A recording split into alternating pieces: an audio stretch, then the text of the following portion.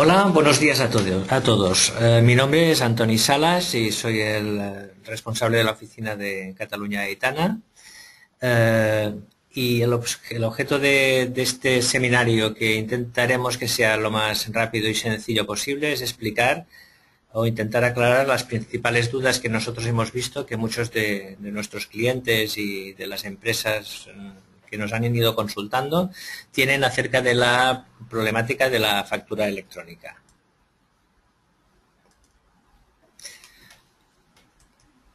Vamos a, estructurar este seminario en estos cuatro puntos. Inicialmente voy a explicar qué es la factura electrónica, después algunas soluciones que existen para la factura electrónica, el caso particular de la administración pública, que es quizá lo que ha causado últimamente el principal las principales dudas que han aparecido entre las empresas, eh, clientes y empresas que nos consultan. Y después la solución que nosotros ofrecemos también específicamente para la administración pública, pero también adaptable a todo tipo de, compañías a través del proveedor de servicios eh, de valor añadido eh, SERES. ¿Qué es la factura electrónica? Pues en una forma muy sencilla diríamos que es un sustituto de la factura física. Es decir, la principal ventaja que nos va a ofrecer la factura electrónica es la posibilidad de eliminar la factura física que normalmente y tradicionalmente ha ido de una compañía proveedora a una compañía cliente.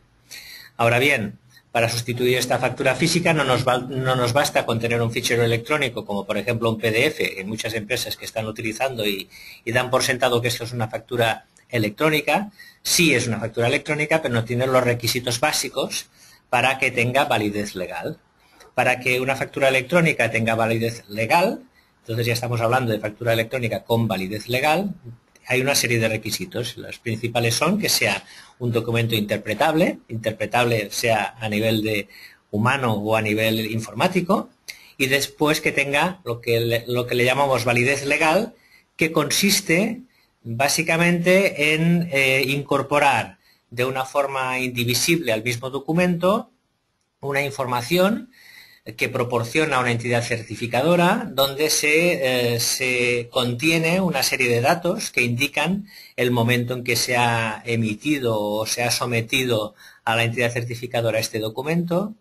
eh, la identidad eh, del propio emisor de una forma clara, es decir, donde no puede haber ningún tipo de dudas de quién ha sido el emisor o la compañía emisora de este documento,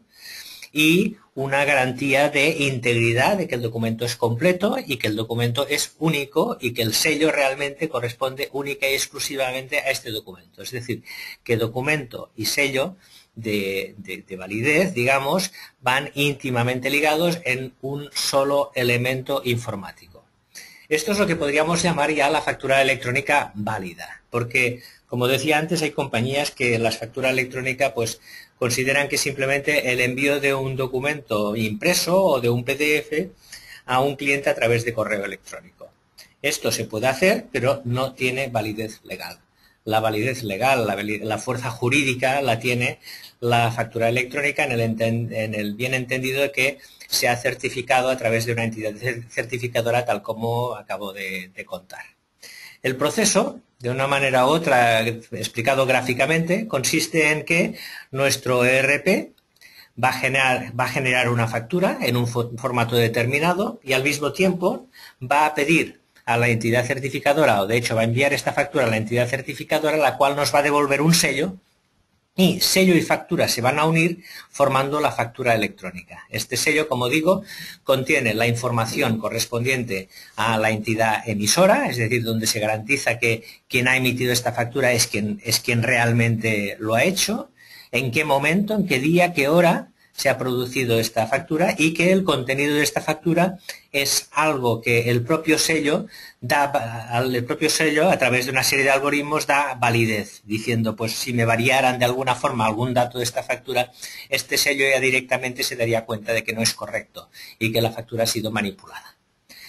Por esto, para hacer una factura electrónica necesitamos pues ya no solamente de nosotros mismos, sino que necesitamos de una entidad certificadora. Entidades certificadoras hay bastantes, desde la fábrica de moneda de timbre hasta pues bueno, muchísimas eh, entidades, eh, cámaras de comercio, etcétera, etcétera, que tienen legalmente la capacidad de proporcionar estos sellos y después de validar la correcta, digamos, emisión de este, de este sello y la correcta integridad de este documento, en este caso estamos hablando es de las facturas. Bien, esto sería el proceso de, de, validación o de legalización de la factura. Hay quien pregunta, bueno, ¿y esto sirve en qué formato hay que entregarlo? Bueno, realmente no hay una norma específica que diga que una factura electrónica tenga que tener un formato exclusivo o determinado. Es muy habitual utilizar dos tipos de formatos fundamentalmente. El PDF, el formato PDF que puede ser legalizado a través de este sello de garantía, mm, tiene la gran ventaja de que puede ser, digamos, es un documento que puede ser impreso, puede ser visualizado, pero lo que sí es cierto es que un PDF pues no contiene una información estructurada para poder ser integrada en un RP. Mientras que es bastante más habitual o es bastante habitual utilizar un formato que se llama XML, que es un formato de intercambio de datos que contiene ya las propias etiquetas, donde un sistema informático leyendo este formato, pues por ejemplo sería capaz de integrar esta factura en el ERP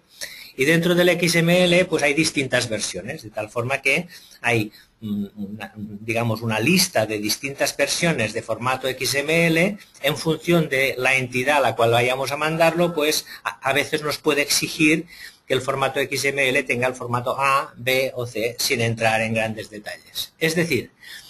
digamos, los formatos más habituales, el PDF sería un formato suficientemente válido como para enviar un documento a un cliente nuestro, y este cliente pues podría imprimirlo y guardando este fichero pues ya tendría la validez legal del fichero y no tendría por qué mantener una copia en papel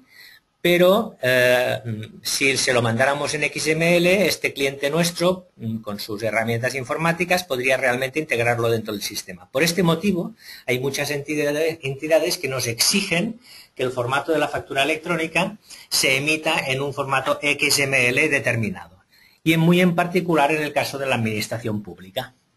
La administración pública utiliza el formato XML estandarizado, es un formato que tiene distintas variaciones, cada entidad pues, nos va a exigir un formato XML un poco distinto. Y otra de las cosas muy importantes de la administración pública, y ahí es donde se han creado muchas confusiones, es que no solamente nos exigen la recepción del documento de factura en, formato, en un formato XML y legalizado y, legalizado y certificado, sino que además nos piden que este documento se cargue automáticamente o manualmente, claro, pero estoy hablando de automatización de un RP, luego estoy hablando del caso automático, se cargue en un portal o en una herramienta informática donde ellos automáticamente son capaces de recoger esta información e integrarla en sus sistemas. Ahí es donde surge pues, una, cierta problemática adicional. Es decir, si yo, por ejemplo, he llegado a crear un formato XML, un formato PDF que sea capaz de enviar a la administración, bueno, PDF no sería, sería solamente XML, capaz de enviar a la administración pública, no tendría, mm, digamos, cubiertos los requisitos de la administración pública, sino que necesitaría, además, colgarlo o introducirlo en el sistema de la propia administración. Lo que ocurre es que bajo el nombre de administración pública, pues hay muchísimas entidades. Evidentemente, una parte, una parte de la administración pública es administración central, y realmente en la administración central se creó un portal que se llama FACE, FACE, que en teoría tendría que ser el que se suponía que al final iba a ser el único portal por el cual se iban a introducir facturas a la administración, pero la verdad esto no ha sido así. Y entonces nos encontramos con que prácticamente cada, eh, cada comunidad autónoma tiene sus portales o sus sistemas de introducción de, sus, de los documentos de las facturas, pero también muchísimos ayuntamientos tienen su propio sistema de introducción de las facturas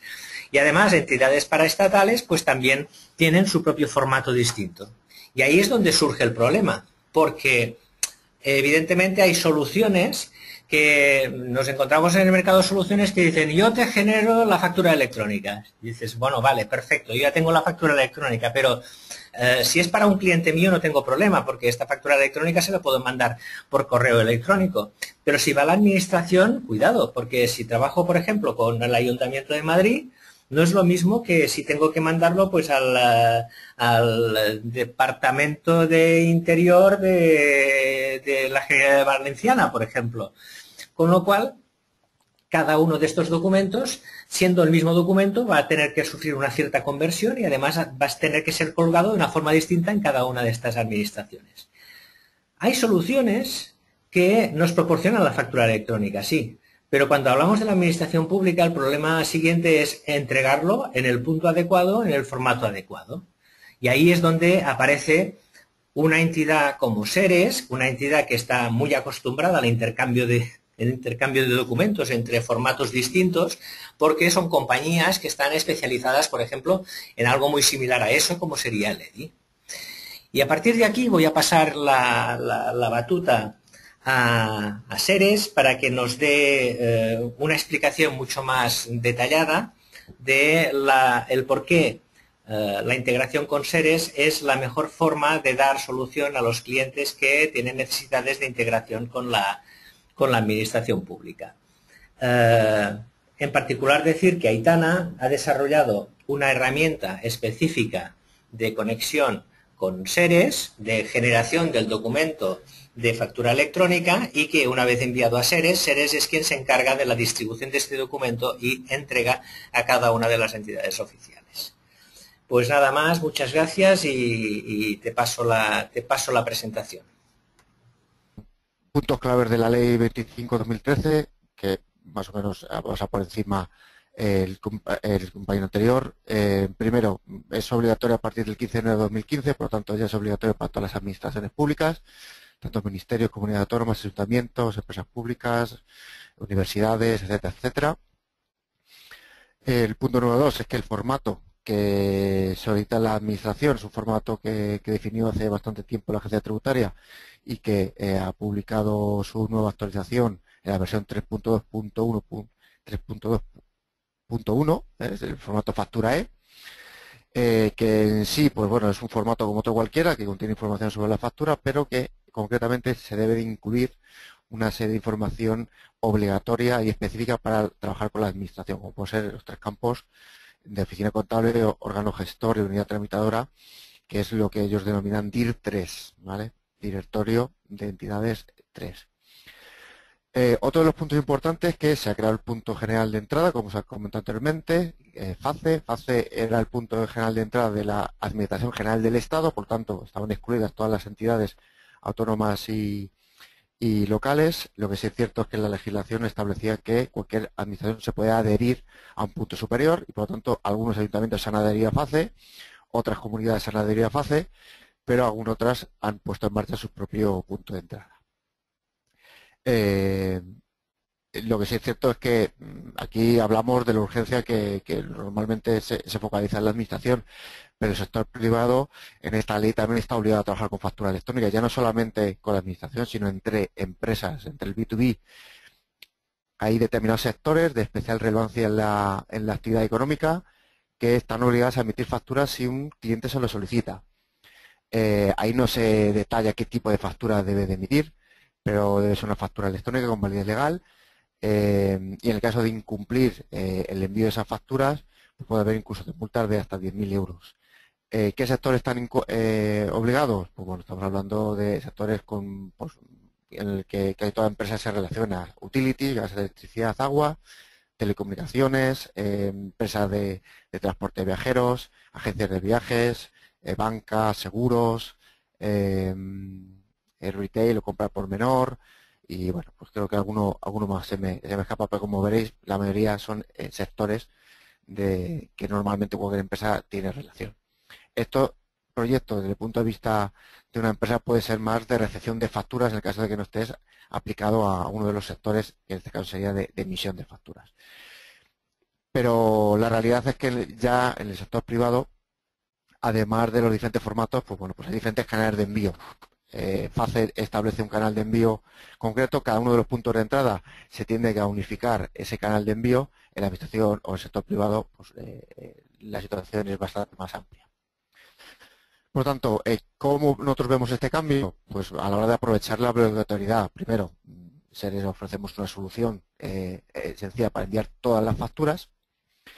te permite que esta misma obligatoriedad de emitir facturas a la administración lo puedes utilizar para otros interlocutores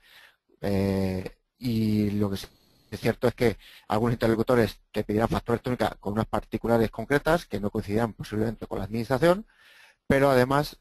eh, todavía habrá algunos eh, clientes que te soliciten papel. Bueno, este servicio también te permite unificar todo en un mismo canal y desde un mismo cambio en tu RP poder eh, abordar el envío de todas las facturas y no tener que internamente diferenciar cuáles van por papel y gestionar de una forma manual o internamente con recursos propios pues una factura en papel.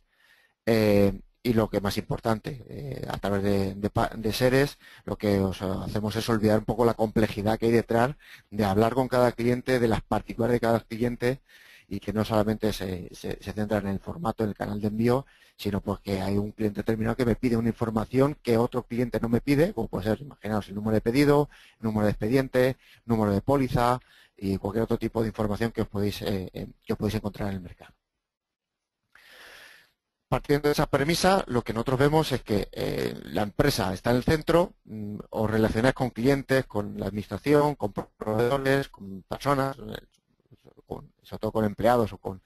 o con personas físicas, en la que esa relación pues se agrupa de forma diferente. Eh, para hablar con la administración me tengo que ir a FACE, para hablar con los clientes me conecto a través de, EDI porque es un sistema que, además de la factura me envía o recibimos pedidos al Baraner, que a las personas se les envío nóminas y no se les envío por otro canal, pero esta relación de tu empresa con cada uno de los clientes proveedores es particular, pero que esos clientes a su vez se relacionan con otros y por lo tanto eh, hay el, resumen final es que hay una diversidad de tecnología clara, es decir, cada uno, nosotros cada adaptar a cómo conectarnos con cada uno de ellos.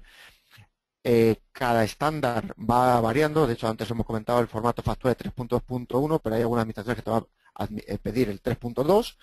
y algunos eh, sectores del EDI te va a pedir el IFAC de 93, el D96, el 01, etcétera. Por lo tanto, si abordas el proyecto de una forma individualizada es bastante costoso porque te implica una adaptación continua, la relación entre ANA y seres os evita esa problemática.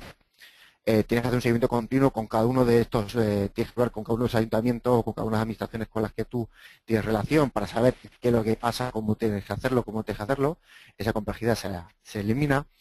Eh, en algunos casos el envío de la información te lo permiten enviar por correo electrónico. correo electrónico en caso de administración está eh, prohibido, pero en caso de algunos eh, clientes te piden enviar una factura por, eh, por, mail, ese mail muchas veces genera un canal inseguro de conectividad con,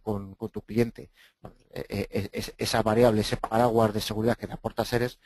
pues te, evita esas problemáticas, ¿no? Además de firewall y de, conectividades que muchas veces es compleja en, grandes corporaciones abrir una puerta de canal para algo concreto y probablemente pues la factura, hora aquí de la factura y la factura, el interés que tiene para el departamento de comprar la factura o que tiene para el departamento de contabilidad o de tesorería o de facturación, incluso de ventas, es completamente diferente. Por lo tanto, esas particularidades las absorbe el ERP, las absorbe nuestra plataforma para que se adapten a cada una de las necesidades de cada uno de los departamentos en su, en su, en su debido momento. Por lo tanto, ese problema que os vais a poder encontrar, o que os estáis encontrando en el mercado, nosotros lo solucionamos de una forma mucho más eh, directa. Eh, entendiendo a su empresa a este punto, nosotros lo que creamos es un buzón electrónico avanzado con nuestra plataforma.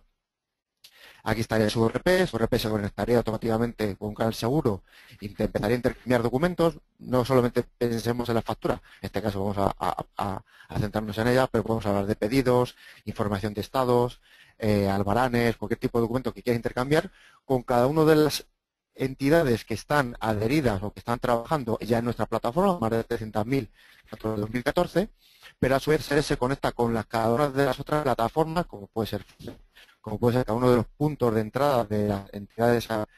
autónomas o con cada uno de los portales que pueden ir surgiendo en las administraciones locales, para que olvidarte de esta conectividad en cada uno de los puntos, sino conectándote en uno, hagas llegar la factura en la forma, en el formato y en el canal que realmente el destinatario eh, quiera. Pero además del sector privado, el sector público, pues también tenemos la capacidad de hacer llegar esa factura al sector, eh, a la empresa o el cliente que así lo requiere eh, en el sector privado. Damos conectividad, os facilitamos el transporte, os damos trazabilidad, sabéis en todo momento en cuál es el estado de la factura. Es decir, si pides una factura al, Ministerio de Industria, este Ministerio de Industria notifica el estado y nosotros automáticamente lo notificamos a, vuestro RP para que eh, podáis notificar en vivo nuestro sistema si que ir a diferentes páginas web consultar esa, información. Integración, nos integramos con vuestro RP para que eh, la información fluya de una forma correcta y se aportamos esa seguridad tanto en el cumplimiento de la normativa como eh, en, el, cumplimiento de, la, una seguridad tecnológica necesaria para que la información de tus facturas pues no caiga en, no llegue a través de PAN y de otro tipo de canales pues en, sitios donde no deberían de, llegar. Al lo que aportamos es un tercero confianza online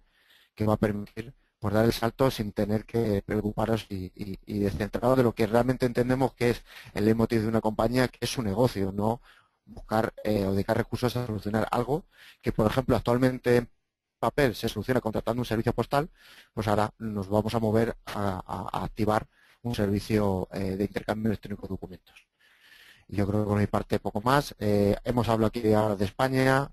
hay una obligatoriedad muy clara y muy dirigida que ya entró en vigor el 15 de enero, pero bueno, hay obligatoriedad en México, en Colombia, en Colombia en este caso todavía no hay obligatoriedad, pero sí posibilidad de emitir factura electrónica, en Ecuador hay obligatoriedad, en Perú, en Argentina, en Francia va a entrar en vigor en el 2017-2018, por lo tanto,